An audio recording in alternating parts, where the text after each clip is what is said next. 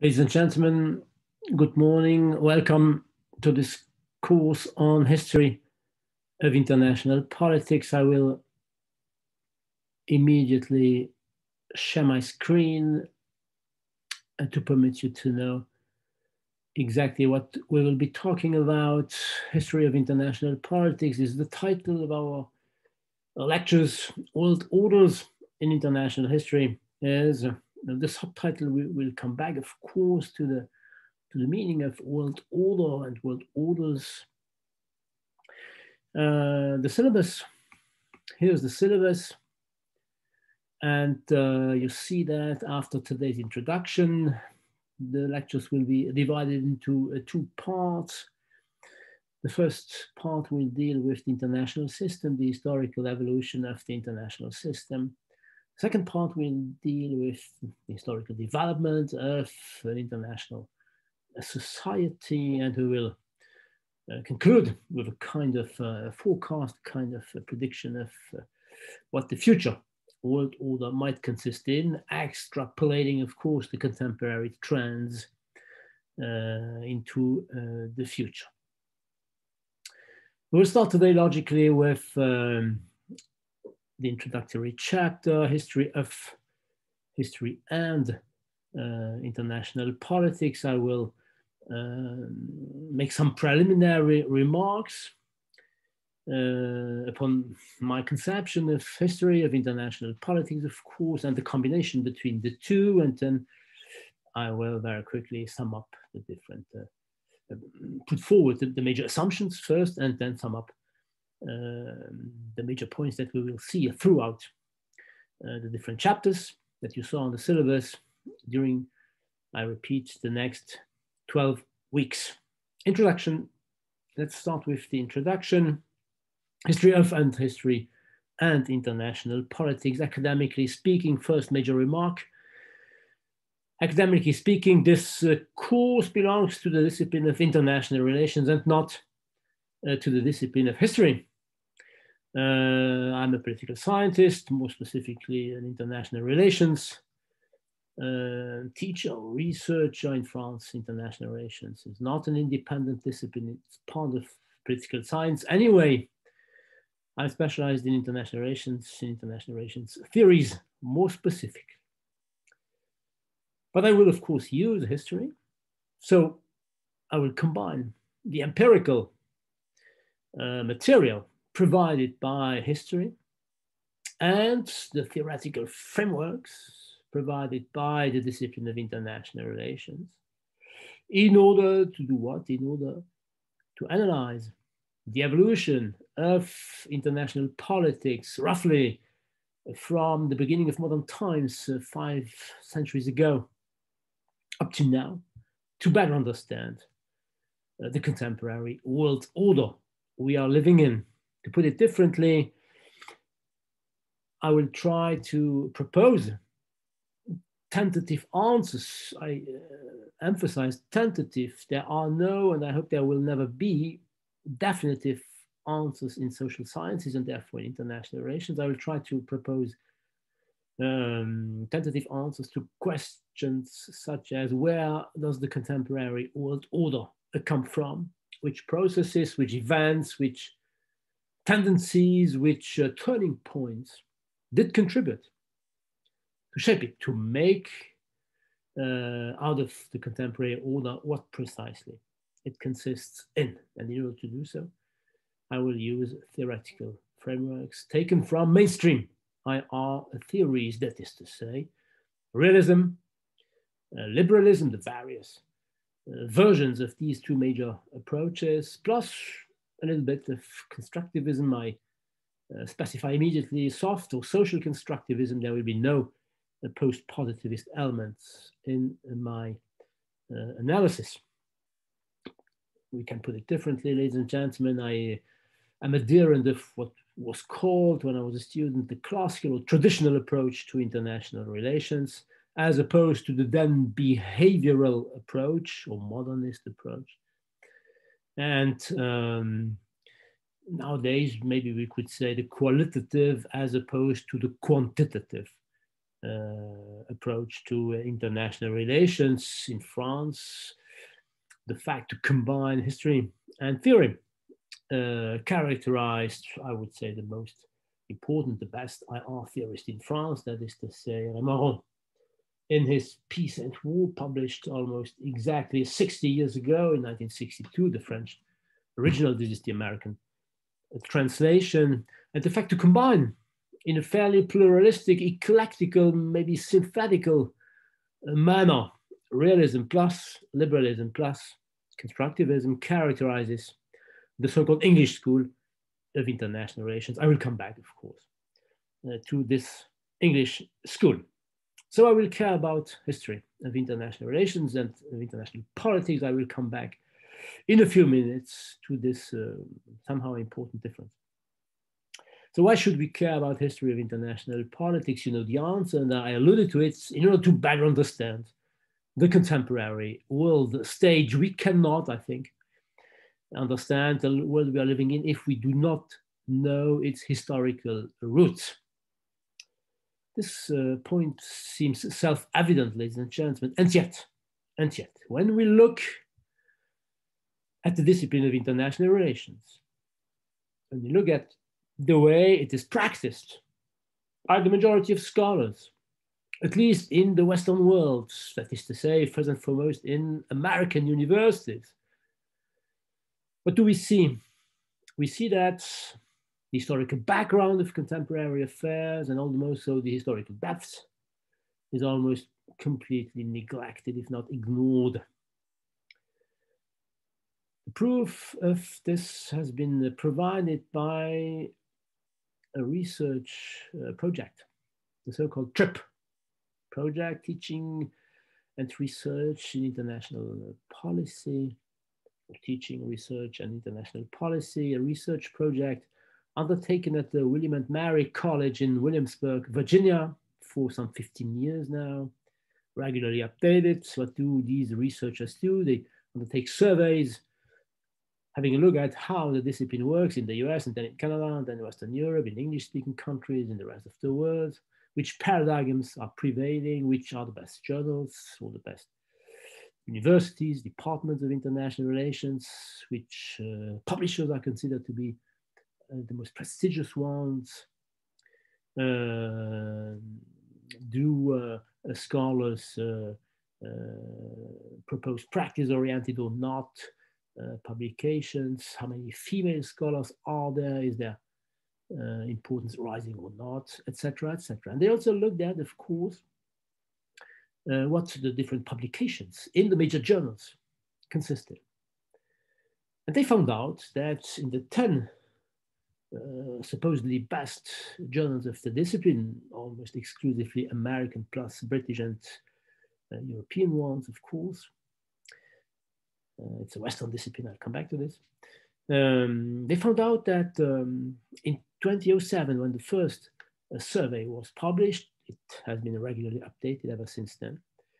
They found out that the majority of articles, 70% of the topics dealt with in the articles of the major journals, uh, started with or were interested in events that took place after the end of the Cold War. That and what's more, some 50% dealt with post 9/11 events which amounts to saying that the historical the roots of these events is almost completely uh, neglected. I think this is um, a mistake, or at least I do not share this uh, conception of what research in international relations should consist in. One example or two. Let's start with the first example. You know the expression post Cold War world. This is the term used to designate the world for some 30 years now, since the end of the Cold War. There is no positive concept to define the contemporary world order. It is called the post Cold War order.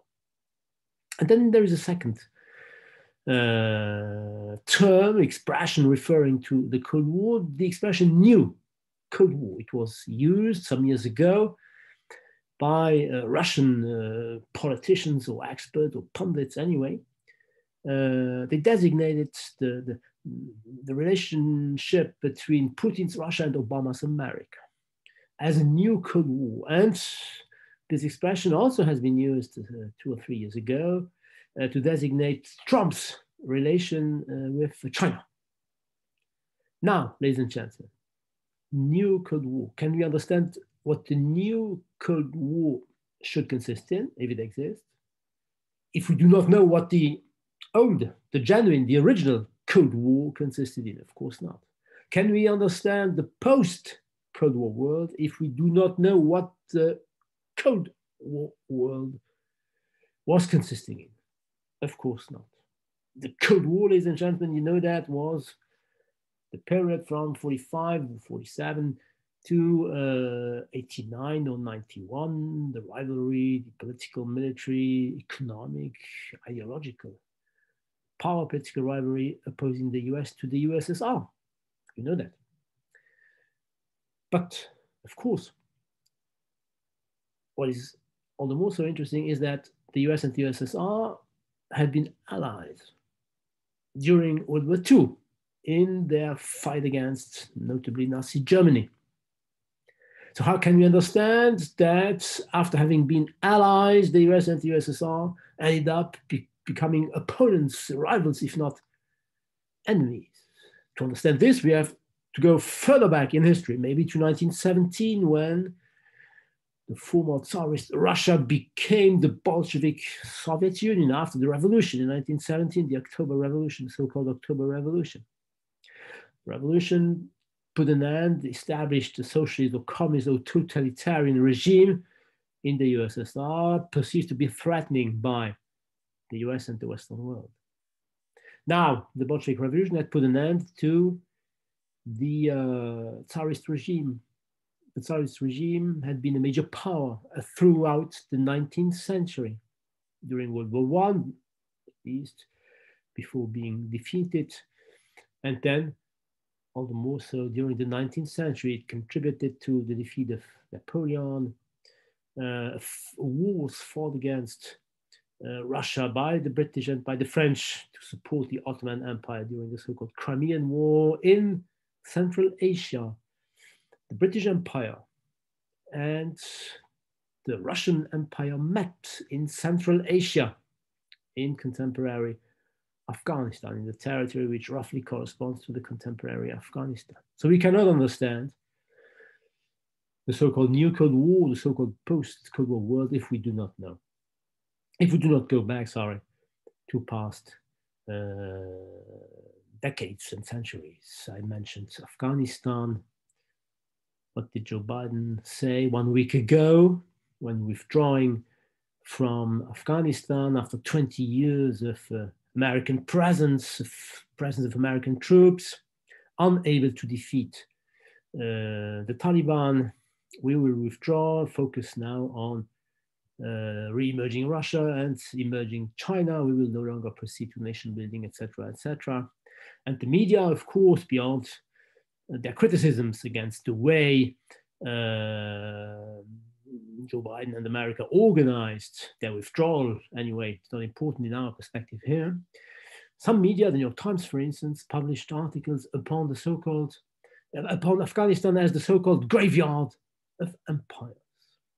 Afghanistan is supposed to be the graveyard of empires. America was defeated, or at least was unable to defeat its opponents, the Taliban.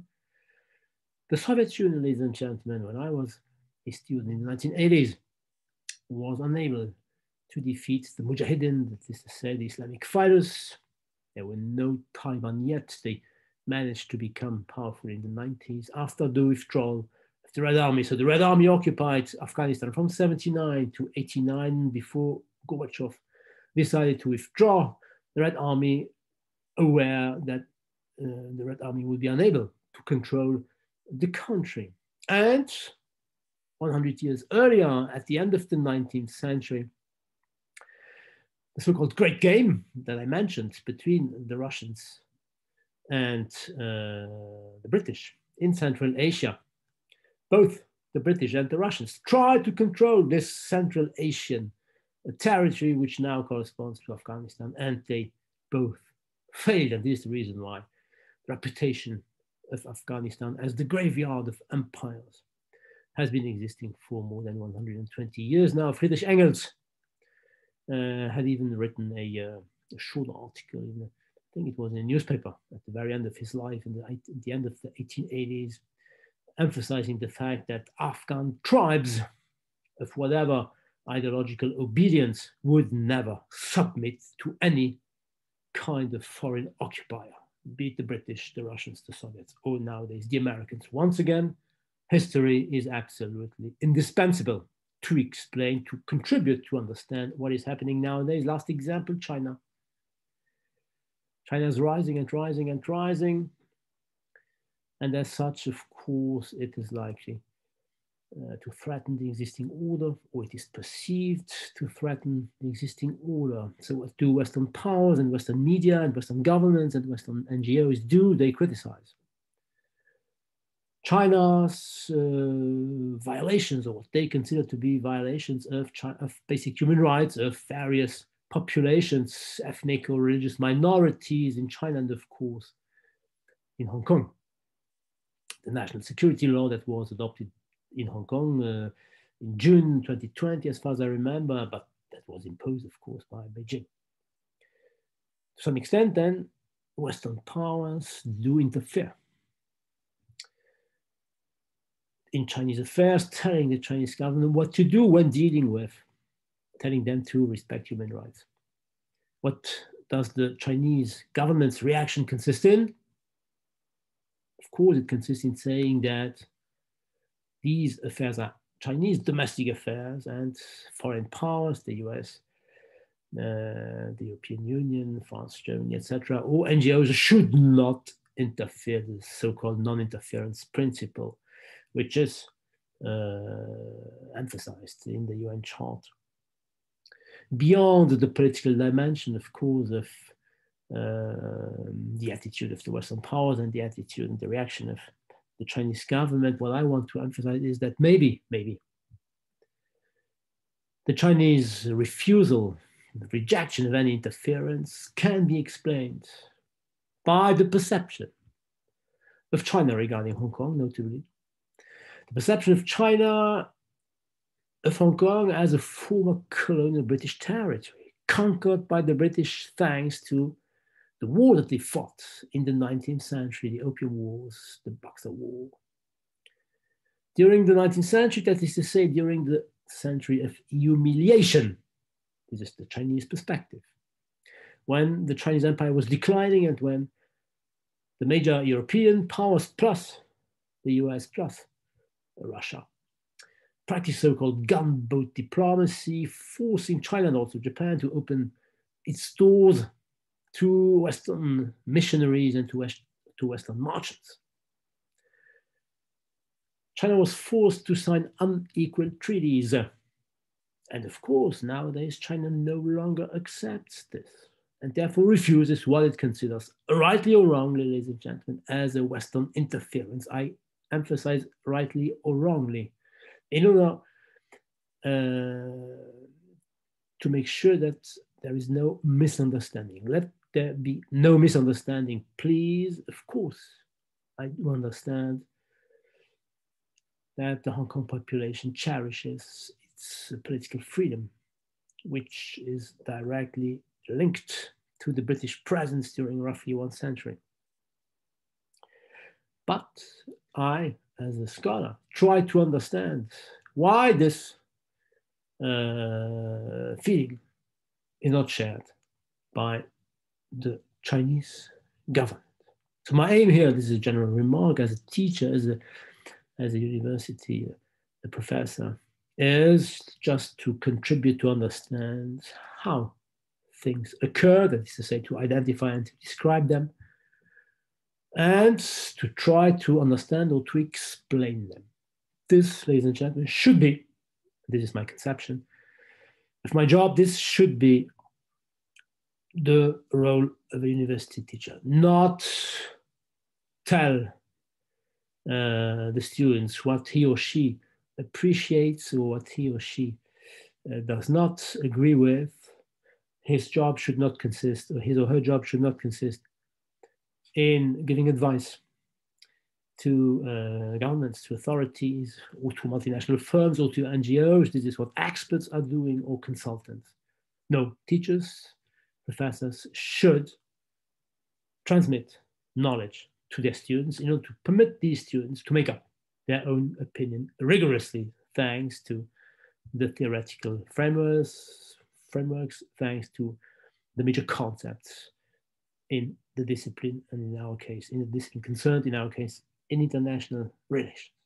So, history, ladies and gentlemen, the fact to go back to history should permit to overcome one major weakness, what I do consider, together with other scholars, of course, as one of the major weaknesses of international relations as a discipline, what Barry Buzan and Richard Little call chronocentrism or presentism. That is to say, the discipline of international relations is tempted nowadays to focus merely on present current affairs, forgetting the historical origins, historical roots of these current affairs. This presentism, this chronocentrism, the fact to focus on contemporary events and processes, does not characterize IR merely, but all the social sciences due to the fact that more and more social sciences from sciences tend to become expertise, that is to say, problem solving knowledge. I try uh, to resist this trend, I disagree with it, and therefore I do consider history to be important. History, ladies and gentlemen, and to go back to the title, um, history of world history, world history, at least partly. Why world history? In order uh, to avoid another weakness also emphasized by Buzan and Little, um, what we may call and what they call Eurocentrism or Western centrism, the Western biased and the Western centric perspective of the contemporary discipline of international relations. To come back to the survey of uh, the teaching, res teaching research and international policy project of uh, the University of uh, William and Mary College in Virginia. Come back to this survey in the major journals, 50% of the articles deal with topics directly concerning the US. 25% deal with topics concerning regarding the rest of North America and Western Europe. And only the remaining quarter, less than 25% of articles published in the major journals of the discipline of international relations deal with the rest of the world. So Western centrism. This Western centrism, ladies and gentlemen, is can be explained First of all, it is due to the fact that international relations is a Western discipline.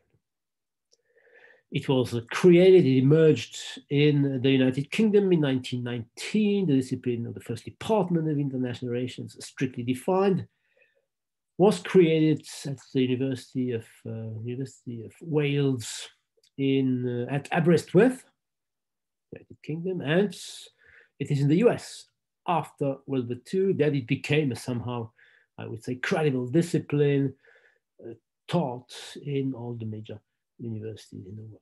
So it is an American social science to uh, quote Stanley Hoffmann, his article in the 1970s. IR an American social science is the first reason why Western centrism is prevailing in the discipline. The second reason is even more general it is, ladies and gentlemen, somehow inevitable not to be ethnocentric. We all look at the world through our looking glasses. That is to say, our world vision is shaped by the context in which we uh, grew, in which we go on living in. We cannot but be Western centric as living in Western countries for 60 years now, as far as I'm concerned.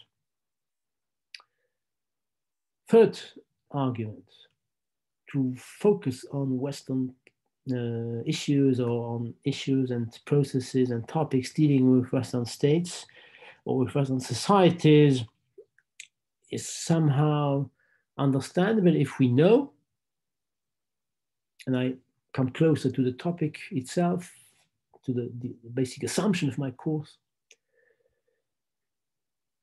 The fact to focus on a Western, to, have a Western centric perspective can be understood by the fact that for some five centuries now, the world is dominated by major Western powers.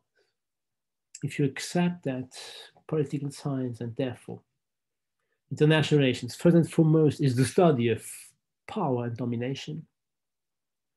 And since this power and domination was exerted by Western, first European, nowadays American states, then it is somehow logical to have such a Western centric perspective. But, but there is a flaw.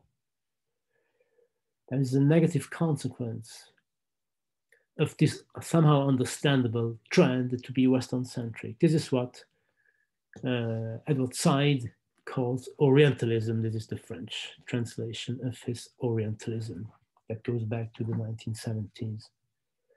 What is Orientalism, ladies and gentlemen? It is the fact for Westerners to look at the rest of the world, not merely at the East, first at the East, but we can go beyond uh, the Orient, the East. It is the fact for Westerners to approach the non Western world not as it is, somehow objectively, or not as it is subjectively or intersubjectively perceived by the populations living in the rest of the world. No, it is the fact to perceive the rest of the world as we would like it to be, as we would like it to be, thus denying the rest of the world any kind of agency. It is not an actor of history, it is an object. And this, of course, is a flaw, limits, a negative consequence of Western centrism that should be avoided in an academic setting. A very short example, a very quick example. For some few centuries now, American administrations, more or less explicitly since Clinton, use the term rogue states or rogue regimes or rogue actors when designating some autocratic regimes or terrorist networks that do behave violently and or that do not respect basic human rights regarding their own population. However, the term rogue states or rogue regimes is not a neutral scientific concept. It is a stigmatizing term. The so called rogue actors themselves do not consider themselves to be rogue actors. Just as terrorists, most of the time, do not consider themselves to be terrorists. This does not mean that they are wrong or right. This means that we should be aware of the nature of the terms and concepts that we use. That is to say, regarding Western centrism, we should be eager to maintain, to keep our Western centrism under control. This would already be a significant step forward. At least I hope I will be able to do so. So what will I concretely do in this class in order not to be a victim of a too biased Western-centric perspective? I will integrate world history in my analysis, not by referring to non-Western centric approaches in IR. I do not really know whether there are such non-Western centric nowadays approaches in IR. In the history of the discipline, the only, I would say, somehow credible, serious, non-strictly speaking, Western centric or non-Northern centric approach that was able Uh, to be acknowledged as credible, as serious, was the Latin American dependencia, a school in the 1960s, 70s, maybe 80s. All the other approaches do come from North northern countries or, nor, or Western or Northwestern America, and the English speaking world in general, and the European continent. So I will not take into account non Western centric perspectives. I will not either uh, consider non Western units to be. Uh, uh, likely in the past. I do not consider them to have been rivals, competitors, serious competitors of European powers. This is the claim put forward by the British Jason Sharman in his Empires of the Weak. He considers that, as the title indicates, he considers that um, the European states' powers were actually weak when they met with uh, overseas empires, be it the Chinese Empire, be it India, be it even the Aztecs uh, or the Incas in, in Latin America, uh, the Islamic empires, etc., etc. And it is only in the 19th century that Europe ended up definitely uh, dominating the world. I would not go as far as saying that. I would say that ever since uh, the end of the 15th century, European powers overcame their non European prospective rivals, though they did not systematically conquer them within short time periods. So I will not consider these non Western powers to be important in the past. My Um, integration of world history in my analysis will consist in trying to put myself in the mind of non Western actors when analyzing the relations of domination and conquest that the Western powers had with these non Western entities. That is to say, I will focus on the history of the great powers. And I agree here with Kenneth Waltz in his theory of international politics. To quote Kenneth Waltz, page 72, the theory, like the story of international politics, is written in terms of the great powers of an era.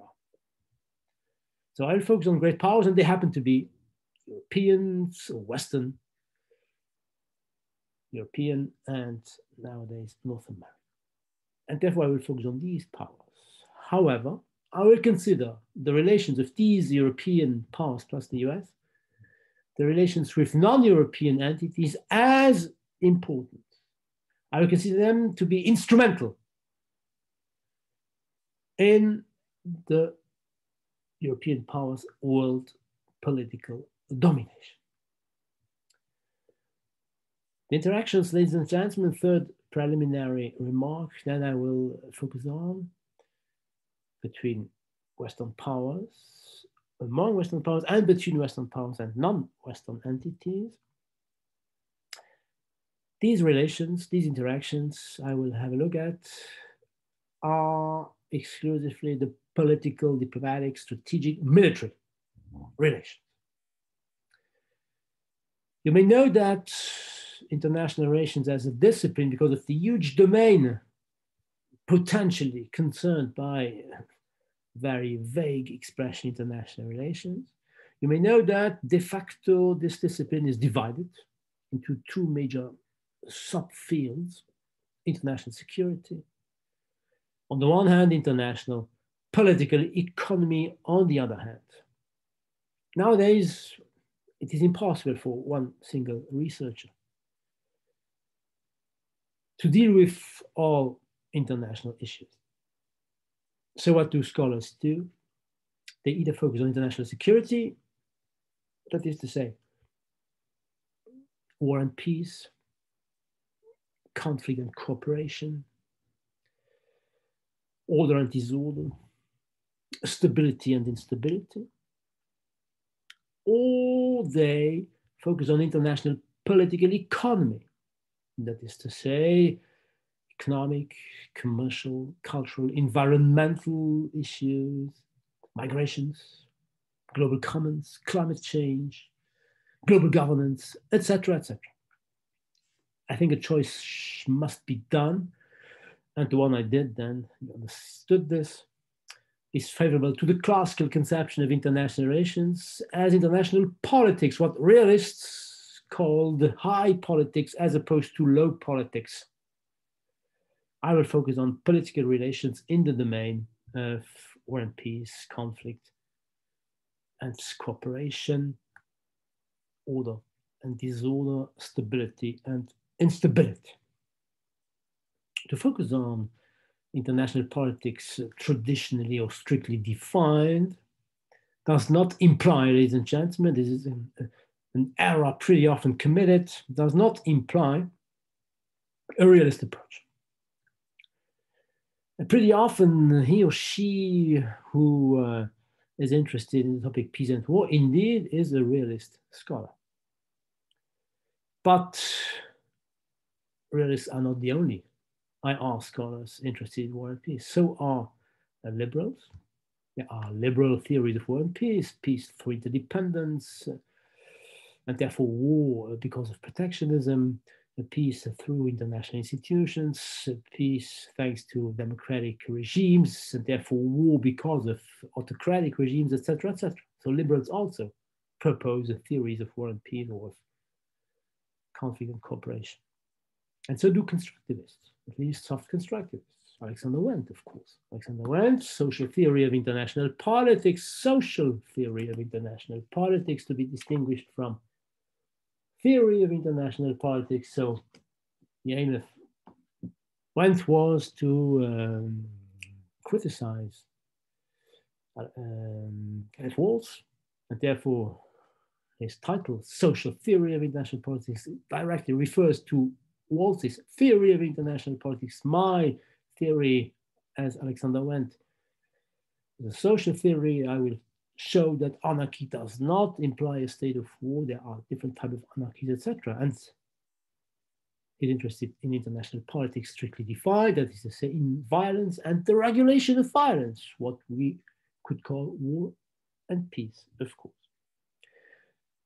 So my theoretical approach is not strictly speaking, exclusively realist. What then will my theoretical background consist in? Well, the response to this question, ladies and gentlemen, can be found in the title of, uh, subtitle of my lectures, World Orders in History. What is an order, ladies and gentlemen? I will give you a neutral, descriptive as opposed to normative or critical definition. An order, sorry, an order is an established arrangement among units of a group. I repeat, an order is an established arrangement among units of a group. In our case, a world order is an established arrangement among political units, states and or non-state actors at the world political stage. And if you accept this uh, definition and if you apply it to international politics, this arrangement has two dimensions. It has two dimensions, a material one and a non-material one. The material one refers to what the English school, and this then is my background, calls international systems. The English school, and more specifically, one of the founding fathers, Hedley Bull, in his Anarchical Society, published in 1977 or 79, in the end of the 70s. An international system, an international order or world order first consists in an international system, the material dimension. But the international order or world order also has a non-material dimension. And this non-material dimension is called international society by Hedley Bull. International system is the term used by realists, but realists would not, never use international society. So you immediately see that the English school goes beyond a mere realist approach and integrates liberal elements, liberal in the, the philosophical uh, meaning of the term, I would say Lockean elements or Grotian elements as the philosophy of Hugo Grotius, the philosophy of uh, John Locke, as opposed to Thomas Hobbes's political philosophy, which, which is at the root of, of the realist approach. So the English school then is basically Uh, the school which inspires my analysis here. So let's have a look at the meaning of international system and at the meaning of international society. In his 1977 published Anarchical Society, Bull gives us the following definition of an international system. An international system, first, he says, is a set of states, we could say political units, independent from one another. So a terrorist network, ladies and gentlemen, is a political unit, though it is not a state, of course a set of political units having regular interactions among one another. And he goes on. Hedley Bull goes on. A set of states or political units having regular interactions, regular enough, sufficiently regular to make the behavior of each a necessary element in the calculation of any other state. I repeat, a, an international system is a set of states or political units, political entities, having regular interactions, having interactions regular enough to make the behavior of each a necessary element in the calculations of any other state. What does that mean? Very concretely, this means that any state, before acting on the international scene must consider by anticipation to some extent what any other state might do, how any other state might react to its own first action. This is due, ladies and gentlemen, to anarchy, the anarchical society. The term anarchy is in the title Anarchy prevails on the international scene. This is the starting point of mainstream international relations theories.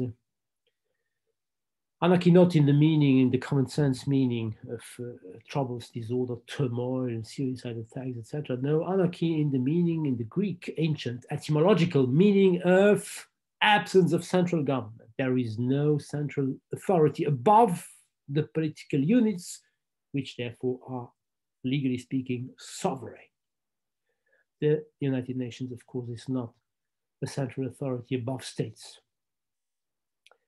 So nobody tells the states what to do and what not to do. Nobody punishes states, legally speaking, when one state undertakes what it maybe should not have done. Therefore, states, before acting, must consider what other states might do. And they take into account the prospective action and reaction of other states by looking at the comparative power resources of said other state. It compares its own resources to the resources of any other state likely to react to the first state's behavior.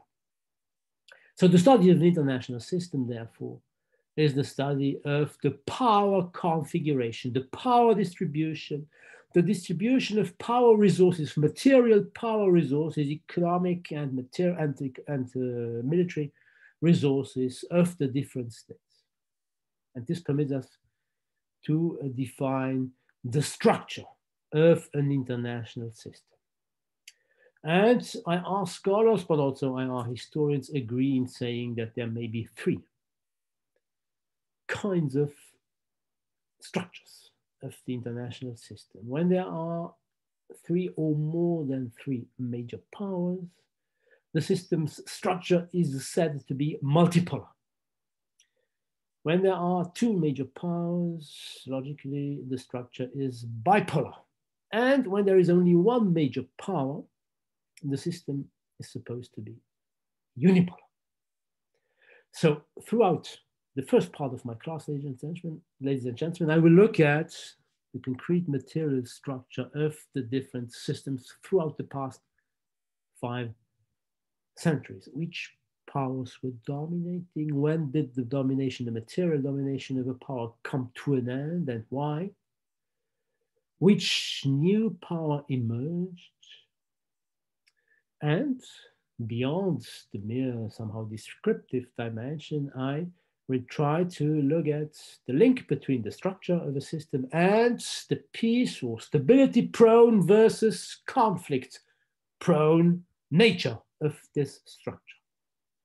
That is to say, I will ask the question were multipolar systems of the past more or less stable? Were bipolar ones more or less? And why is this the case? Is a unipolar system stability prone or not? These are the questions to which I will try to provide answers in chapters two to six. And I agree to say that these six, these uh, five chapters two to six, are globally, generally inspired, broadly inspired by a realist approach. But the English school is not merely realist. It includes non-realist elements, and these non-realist realist elements are implicitly present in the term anarchical or international society. Once again, Bull provides us definition, Bull, as well as Bull and Watson in another book, uh, The Expansion of International Society. What is a, an international society? An international society is a set of units who do not merely have regular interactions. When they have regular interactions, they form a system. We saw this. They form more than a mere system. Why? Because beyond the mere regular interactions, they adopt by common consent, by dialogue, they adopt the rules, norms, principles, and institutions in order to regulate peacefully these regular relations. To put it differently, uh, an international society is a group of political units which establish by common consent and by dialogue rules and institutions for their conduct. And most of the time, most of the states concerned do respect these rules, do conform their behavior to the principles, do accept to cooperate within institutions, concretely organizations, international organizations.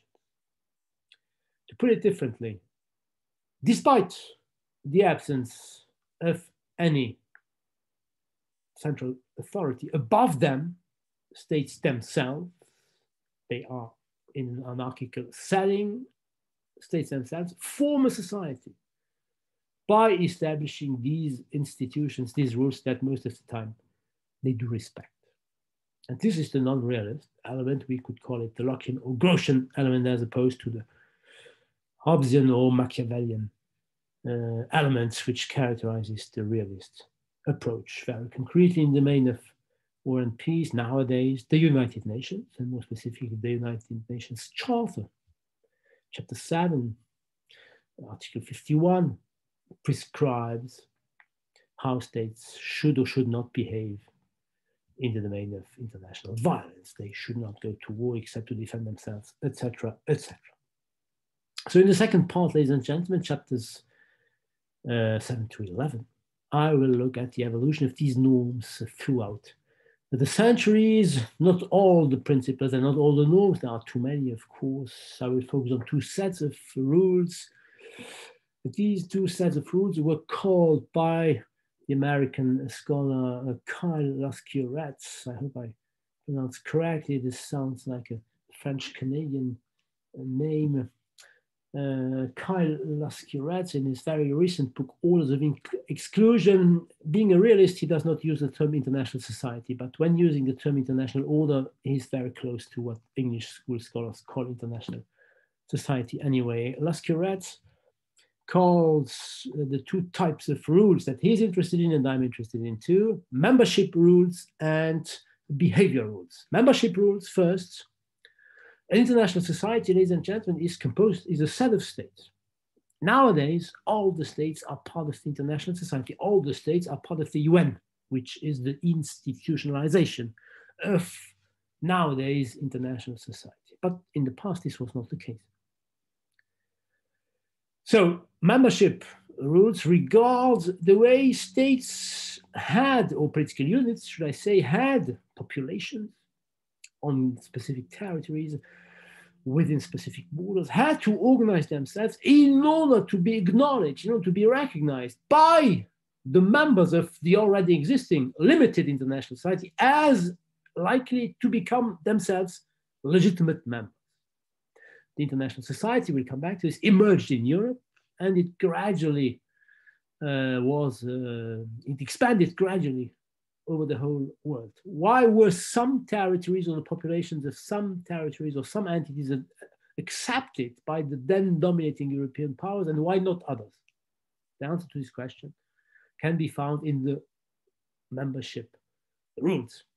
A state must be organized in a given way, must refer to various values rather than to other ones before being accepted uh, as a full member of the international society. And the underlying question, of course, is the following one Who determines these values? Who determines the legitimate principles that states should conform to before being allowed uh, to be part of the international society? And the second set is uh, composed by behavior rules, that is to say, once the states are admitted in an international society, which concretely means that they are part of international treaties, they contribute to establish, to sign international treaties. Once this is the case, how should they behave? Which rules do they have to respect, not in their internal domestic organization, but in their behavior on the international scene? And of course, this amounts to asking in our domain, do they have the possibility or not to use violence? What are the conditions of states going to war, if it is possible, and if yes, when and why? So chapters 7 to 11 will try to uh, propose answers to this question. So two separate parts analytically uh, separated, but substantively linked. I hope so. Of course.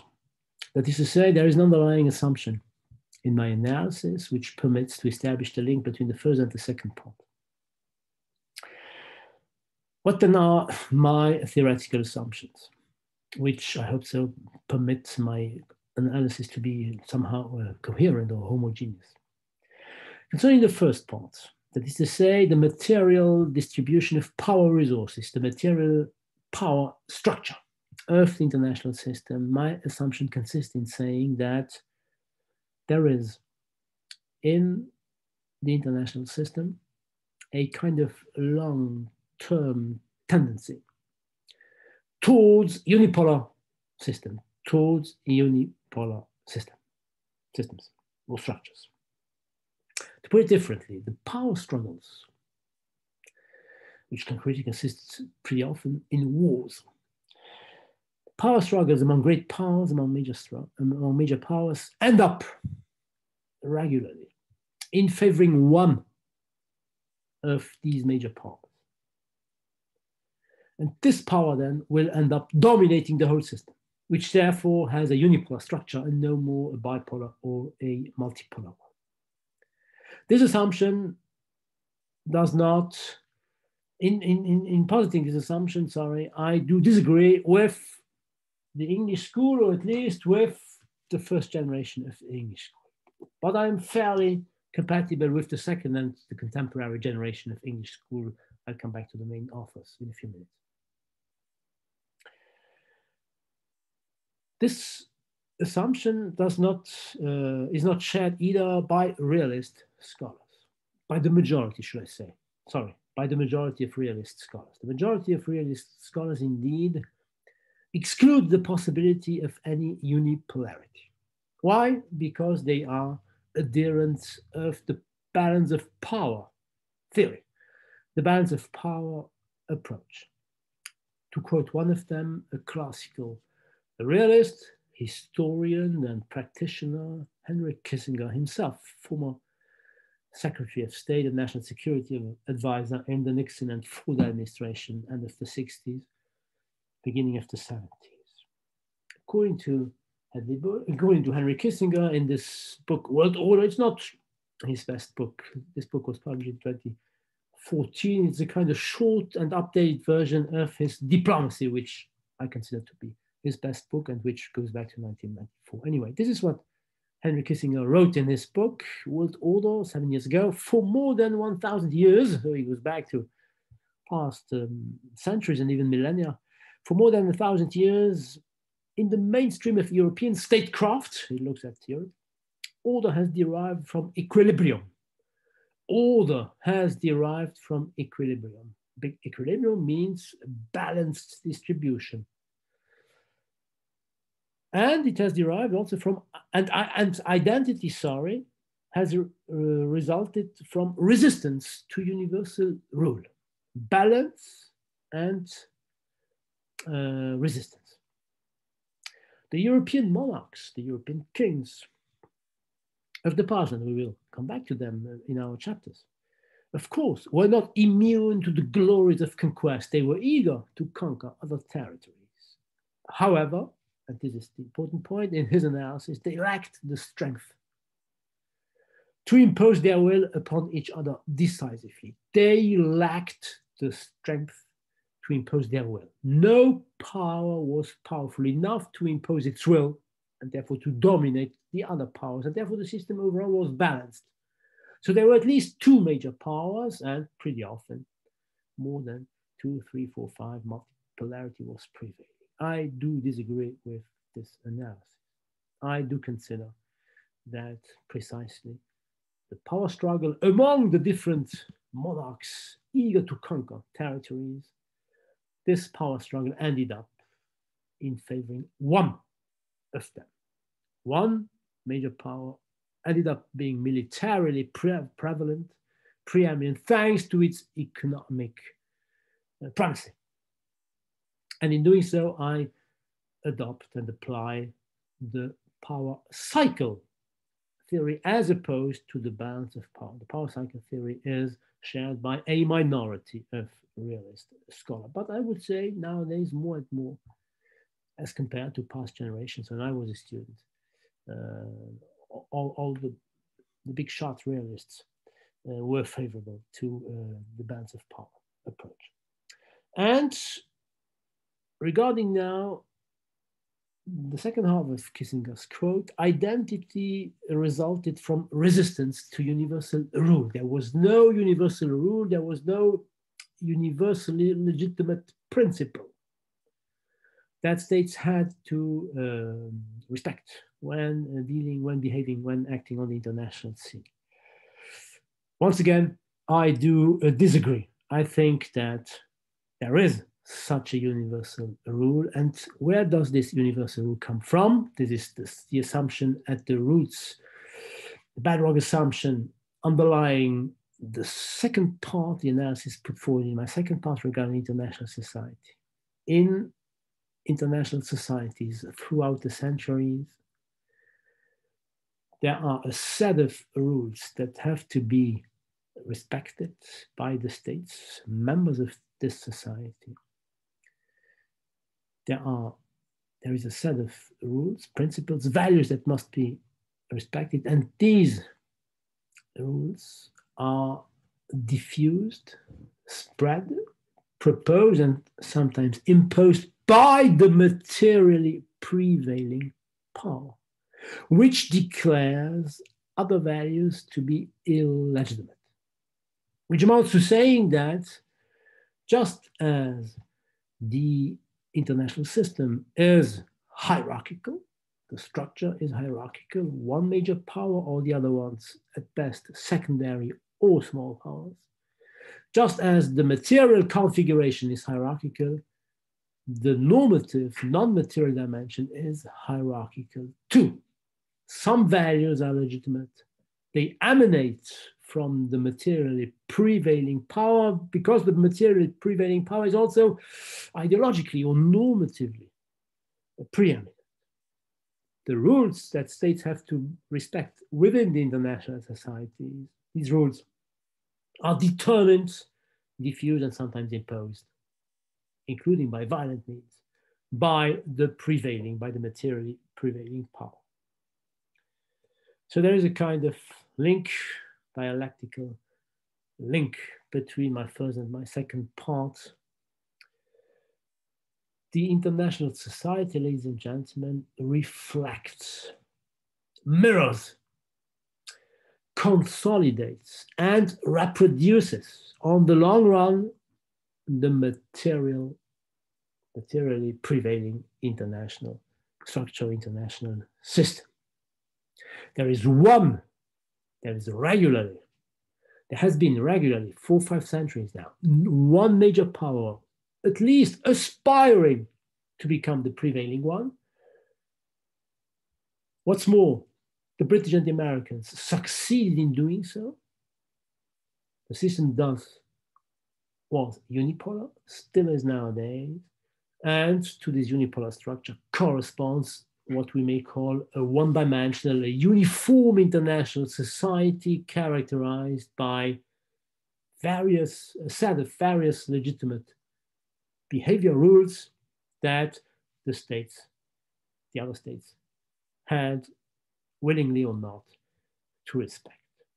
This approach, claiming that the world order in its material and in its normative dimension is hierarchical, is, as far as regards the English school, uh, shared by a member of the younger generation of the English school, Ian Clark, in his book, and also in other books, of course, Legitimacy, in international society, but it is also shared by uh, realist scholars. So the most important power cycle theorist within the realist approach is Robert Gilpin in his War and Change in World Politics. We have, ladies and gentlemen, critical scholars whose approach, I would say, is compatible with uh, the analysis that I uh, propose. I am thinking of the Canadian scholar Robert Cox in his Production Power and World Order. Liberal scholars, some liberal scholars, state-centric liberal scholars, also would, uh, I would say, agree overall with this analysis.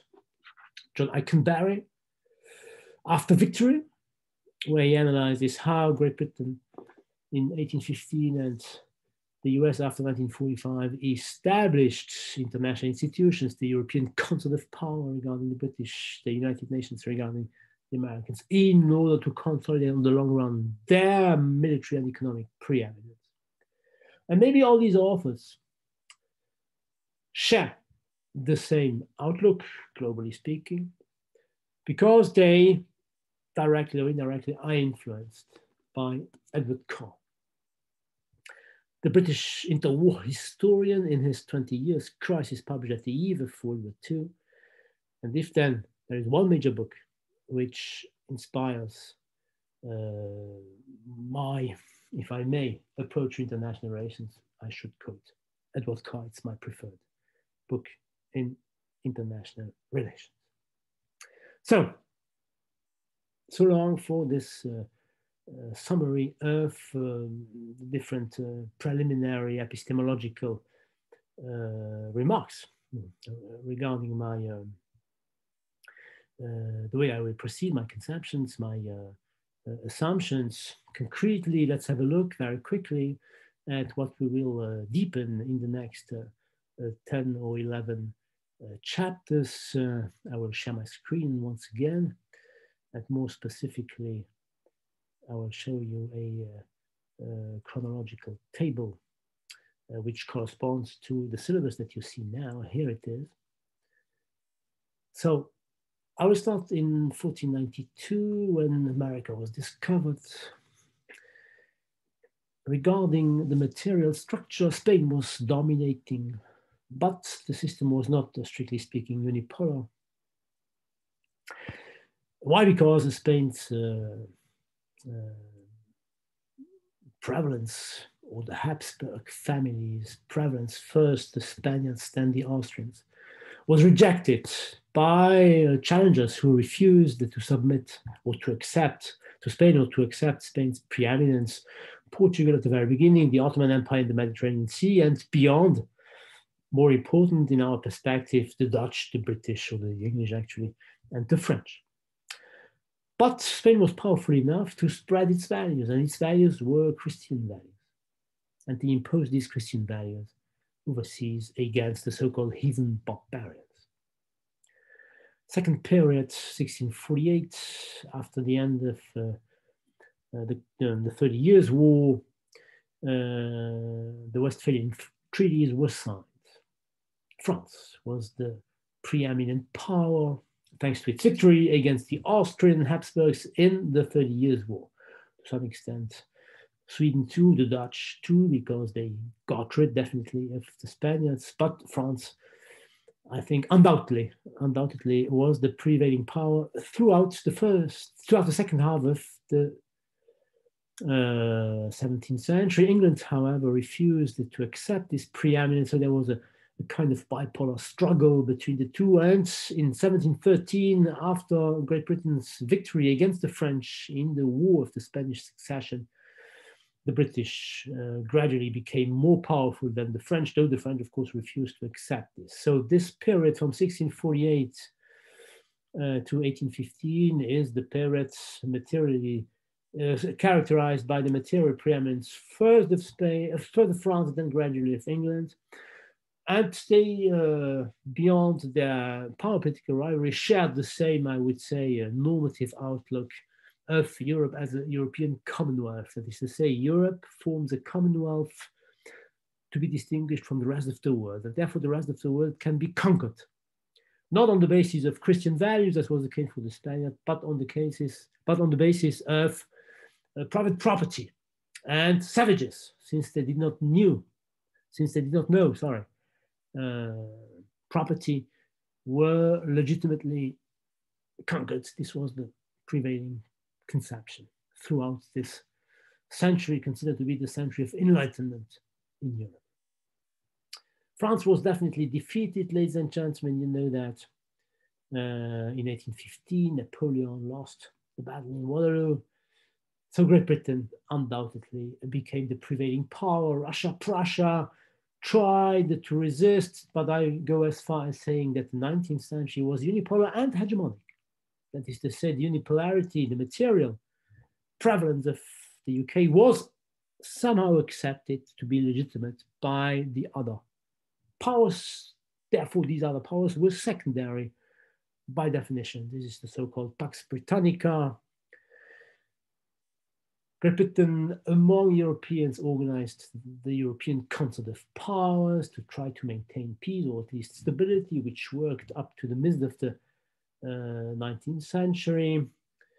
Uh, Great Britain, however, gradually declined. This explains the outbreak of World War I, 1914. the British managed, together with the French, to get rid of the German challenge. Prussia had unified Germany, you know that. But first and foremost, thanks to the American intervention from 1917 onwards. America, however, know that uh, stuck to its isolationist tradition. The Senate refused the Versailles Treaty, Wilson's project, and therefore Great Britain went on believing and went on to be perceived as the prevailing power. Therefore, my period goes from 1815 to 1945. And so during this period, regarding the non-material dimension, uh, when dealing with uh, overseas, uh, not yet conquered territories, the British and also the French and a bit later the Germans and of course the Dutch, somehow even the Japanese and the Americans he, he refer to the standard of civilization. We have to civilize non-civilized or semi-civilized entities. This was the so-called white man's burden. uh, to quote uh, Rudyard Kipling's phrase. After World War One, ladies and gentlemen, a new opposition emerged. The Western democracies, since they accused autocratic Germany to be at the origin, to be guilty of World War One, of the outbreak of World War One, considered themselves to be peace-loving nations. And the autocratic or somehow totalitarian states were stigmatized as brigand states. 1945, a new period uh, that I will have a look at, the period of the Cold War. The United States was the major winner of World War II, it tried to organize a new order based on the United Nations. The Soviet Union, however, though participating in the United Nations, refused America's preeminence, so that this was the bipolar rivalry. Basically, the US was prevailing economically speaking. This explains the end of the Cold War in 1989 when the USSR collapsed.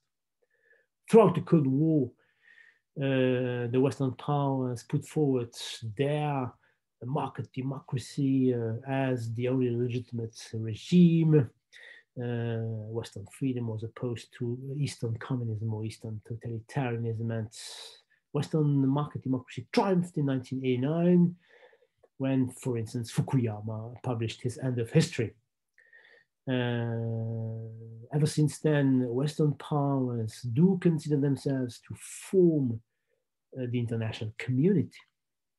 The international community, ladies and gentlemen, I will come back to this, but I can say it immediately is not, the term international community is not synonymous with international society. It is the contemporary version of the Western uh, biased perception of the international society as an international community based on uh, democracy, market economy, uh, human rights, Western human rights, etc., etc. So Western states, what did they do? They did not hesitate to intervene in so-called failed states, to intervene militarily against rogue state, and of course to fight the war on terror against the global terrorists in the name on behalf of their values. But the United States, though being materially prevailing, despite the system being unipolar, we will see this in chapter six, has to cope gradually with China. China is rising. It is the rising competitor, the rising challenger, the rising contender, and we will see, therefore, in the conclusion, how this uh, rise may impact the existing order. You see, if you come back to, if I come back to uh, the syllabus that I consider to, it's a, uh, an attempt to take into account the very recent uh, events, I consider uh, the contemporary order to have come to an end one week ago, ladies and gentlemen, on August 31, when Joe Biden uh, withdrew the very last American soldier in uh, present in Afghanistan.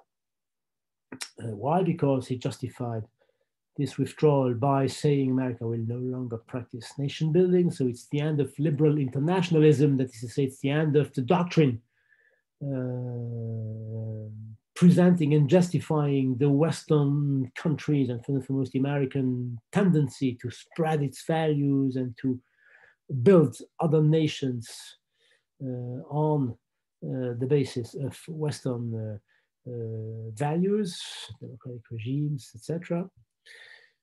And of course, if uh, Joe Biden no longer can afford uh, to fight in Afghanistan or you know, Iraq, etc., it is because of precisely the rise of China as the major threat. Therefore, maybe a new world order is gradually emerging uh, for one week now. Since uh, if I should find a very concrete turning point, it might be August uh, 31 or August 15 when uh, the Taliban uh, conquered Kabul. Anyway, 2021 will be the last date I do take into account. And 1492, ladies and gentlemen, is the first turning point then that I take into account. So last point in today's class, why do I start in 1492?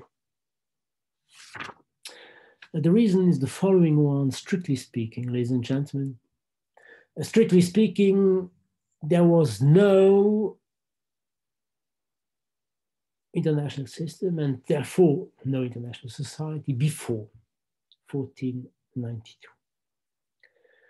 An international system is a set of political units, independent, having regular interactions.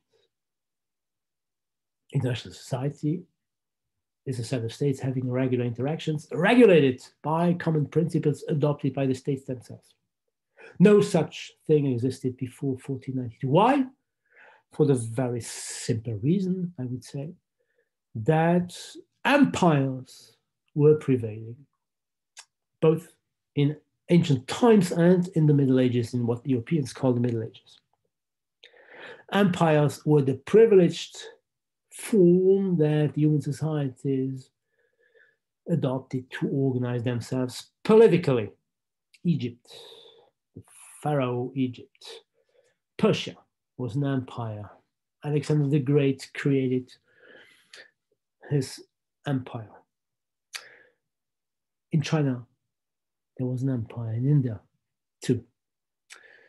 Rome, of course, was an empire, and when it collapsed in the West, it survived in Byzantium. In the Islamic world, the empires, first of the Abbasids, then of the Umayyad, then of the Ottomans, were empires. In Europe, Charlemagne created his empire in the year 100, uh, 800.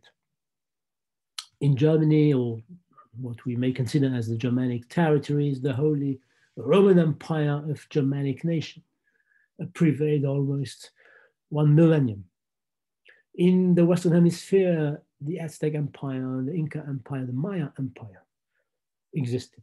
In Central Asia, the Empire of the Golden Horde, the desert of Central Asia, the Mongol Empire, and even in Africa, the Malio Songhai empires were existing during decades and centuries. The best on empires and their domestic organization, ladies and gentlemen, this is the French translation, is uh, Jane Burbank's and uh, Richard Cooper's, Frederick Cooper, sorry, Frederick Cooper's Empire. These empires, ladies and gentlemen, did not have regular interactions among themselves. What is an empire? What is an empire? An empire is a centralized political system acquired uh, through violence by an entity which controls the effective political authority over the dominated peripheries which were conquered militarily. I repeat, it is a centrally centralized political system composed by a center which militarily gradually conquers territory that will become the peripheries within the empire. And empires of the past were self sufficient. They organized themselves within their borders and almost had no relations with the outside world, which was considered by the Romans, for instance, as barbarian. So there were no regular interactions with the outside world. The Roman Empire, and gentlemen, for instance, built walls to protect itself and to separate itself and to protect itself from the barbarian world. The Limes along the Rhine River, the Hadrian's Wall in today's um, Great Britain or United Kingdom. In the Balkans, in the Near East, in North Africa. And of course, this was true beyond Rome in China. The Chinese Great Wall symbolizes materially but also symbolically the willingness of the Chinese Empire to have no interaction with the outside world considered to be inferior. So there were no regular interactions among the then political units that happened to be empires and not nation states. There were regular interactions, but they, take, they took place within, and they were absolutely vertical from the core of the empire to the various peripheries of the empire. My analysis is not shared by one author, by one scholar, Erik Ringmar, in his History of International Relations. He considers the Chinese Empire, the empire in India, the Aztec Empire, etc., as examples of past international systems and to some extent as international societies. You see, right? Am I wrong? The question has no definitive answer. I just feel free to say that I prefer to stick to the, I would say, maybe somehow Western centric, I have to admit this, uh, conception according to which before the rise of nation states, there were no, strictly speaking, international system, there was no international society. So these nation states gradually emerged after 1492. The last reason why I chose 1492 is that before 1492, very concrete reasons prevented any regular interactions among political units. And this very down to earth reason is uh, a technological one. The then existing technologies did not permit uh, regular interactions. Marco Polo, I will share my screen again, ladies and gentlemen. Marco Polo, when he went from Venice to China, needed almost three years traveling on land. And when he came back, he sailed along uh, the coast of China, of uh, Vietnam, of India, uh, Persia, etc. What does it mean? This means that the then prevailing technology did not permit the then existing ships to cross oceans, to undertake voyages during the winter season. It was too risky. They would have run the risk of sinking. So only when bigger and more uh, reliable ships were built by a kind of combination of northern techniques, French, Dutch, and English on the one hand, and southern, that is to say, Italian and Spanish techniques on the other. Only when these ships were built could oceans be crossed. And what's more, the compass had to be invented in order to permit uh, sailors to know where they uh, were uh, going. And maps, somehow reliable, had to be drawn. Now, such maps did not exist. Ladies and gentlemen, have a look at the map that was prevailing in the midst of the second century of our era, the Ptolemy's map, and compare it now to the prevailing map of 1490, that is to say, two years before uh, Christopher Columbus's voyage to Latin America, it's almost the same. You see that there is no Western Hemisphere, there is no Pacific Ocean, there is no Australia, etc., etc. So the then knowledge was limited, which of course prevented any somehow uh, serious and regular interactions among faraway uh, units. Things changed gradually thanks to the evolution of technology. And therefore, I start with 1492, and this is what I will do very concretely next week in 1492, the first uh, part, first chapter of the first part. I will have a look at the kind of transition period from 1492 to 1648, synonymous with Spain's rise to prevalence and uh, the attempt by Spain to impose its Christian values overseas. Thank you very much, ladies and gentlemen, for attending today's class. I hope you enjoyed it. Hope you'll be back next week. Have a great day. Goodbye.